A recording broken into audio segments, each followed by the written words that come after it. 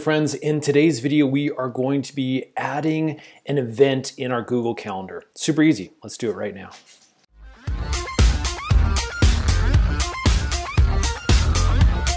So I'm currently looking at my Google Calendar. This is gonna look very, very similar depending on which platform you're using. I'm actually using the Google Chrome browser. And in order to do this, you can just go to calendar.google.com. Make sure you're signed in over in this area.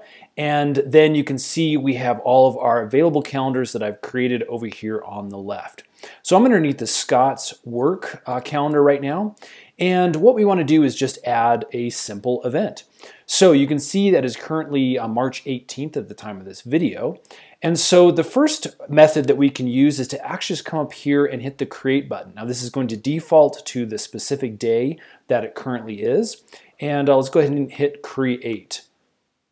Now, as you can see, we automatically have our create submenu that pops up here with all of our different options. And again, that's gonna create it at this specific time, or actually it's gonna default to the closest coming half hour. And again, this is what happens when you just hit that default create button. I'm gonna close this out. And what I'm gonna do instead is I'm going to choose a date in the future that I want to create on. And let's say we want to have something come up here for Monday. I'm just going to click on this. And as you can see, a default menu comes up. This time it's for the entire day. So again, that's just a little bit different when you use that click button versus the create button over here. So now that we have our little menu option, we can actually create a new event. So let's call this test event. And then you can set it as an event, you can set it as a task or a reminder, which is kind of nice. Let's stick with event. And then we can come down here, and again, this is defaulted to the entire day. So if we want it for a specific time, we can just come over here and click this little button. And obviously this allows us to pick a specific start time. So I'm gonna do 9 a.m. as a start time. It's automatically gonna default to one hour. So if you'd like this to be a little bit longer, come over here, click this side, and then you can actually choose when you want your event to stop. So let's say 12 p.m. and make it three hours. Now again, if for some reason you want to come back and make it an all-day event, all you need to do is click on this specific box. It'll default back to that full day. If I unclick it, we'll go back to the original three-hour block. Now we have some repeat options down here. If you actually click on this little down menu, you have some defaults or you have a custom field. You can make this occur daily, uh, weekly on the Monday, uh, monthly on the fourth Monday, uh, annually, maybe for birthdays or things like that, uh, every week.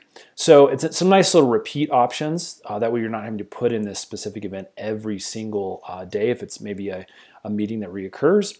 You can also add guests here. Just type in somebody's Gmail address or any other address where they can access uh, this specific calendar and add it to their calendar. Uh, that's really nice. You can actually add a Meet video conference. If you haven't used this, Google Meet is really awesome. It's basically their version of Zoom and it can be something that they can click on to do a video conference.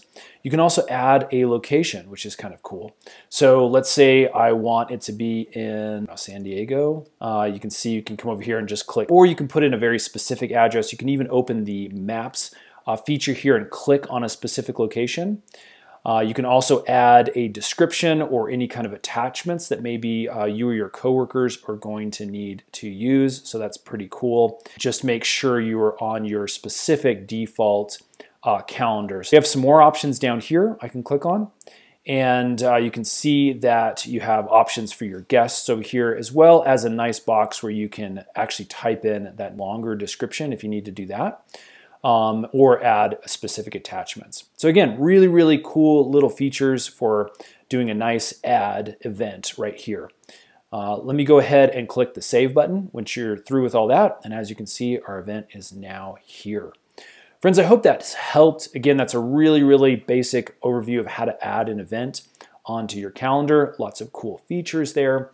Uh, if this has helped, hit that thumbs up button. Lets us know we're making helpful videos. And then you definitely might want to subscribe because we have a bunch more Google Calendar tutorials that we are currently making, and those will be released really soon. Thanks so much for watching.